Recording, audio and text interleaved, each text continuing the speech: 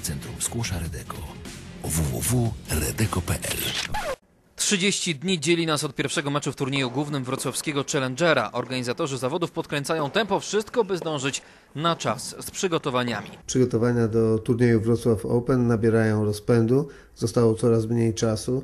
Powoli przymierzamy się już do listy startowej zawodników.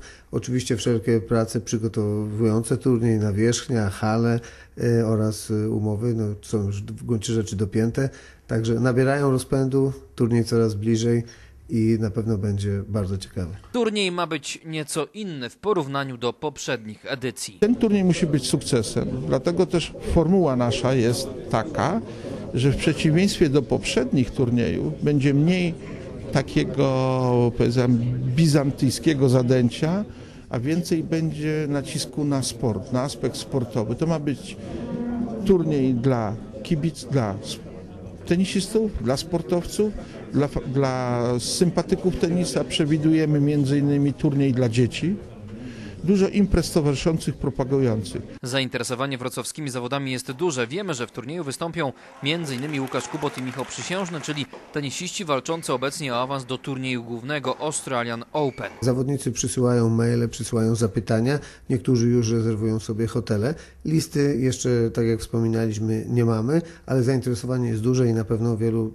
dobrych zawodników przyjedzie od naszego miasta.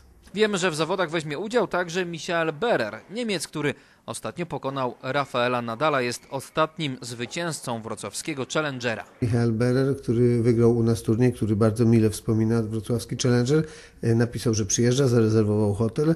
Rzeczywiście jest to ciekawa postać o tyle, że e, nie, niespełna 10 dni temu e, wygrał z Rafaelem Nadalem, także jest to naprawdę niezły zawodnik, warto będzie go pooglądać. Kibice tenisa w kraju powinni być w siódmym niebie. Zawody będzie można bowiem oglądać za darmo. Zdecydowaliśmy się, że nasz turniej nie będzie biletowany.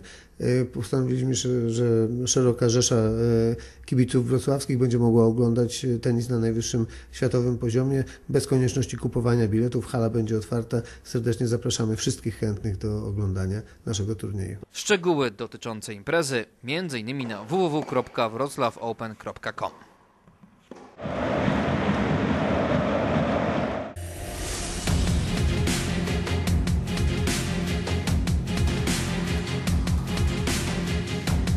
Nowe Centrum Skłosza Redeko. Www.redeko.pl